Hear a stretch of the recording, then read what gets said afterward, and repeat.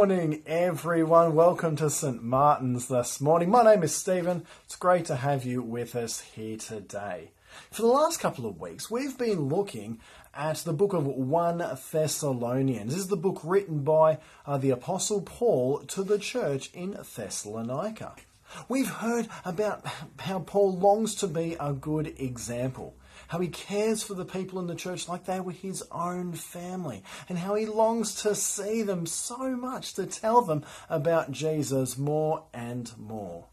Well, this week we're going to be hearing from chapter 4 of this book, and we're going to be thinking about what it means to be people made holy for God.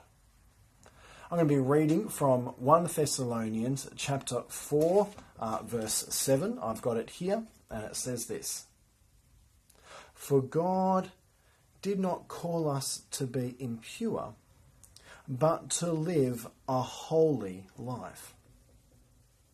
Now, holy, I best understand it as being perfectly clean.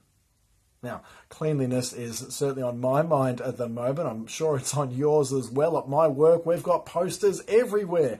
Be clean, be clean. Wash your hands, wear a mask, uh, cough into your elbow, be clean.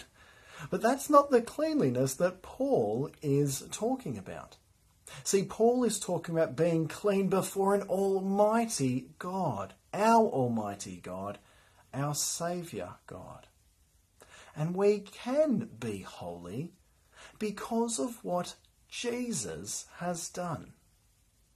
So then, what does it mean to be a people called to be holy for God?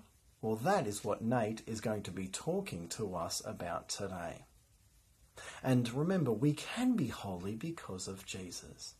So, how about we start today by singing a song together before the throne of God above.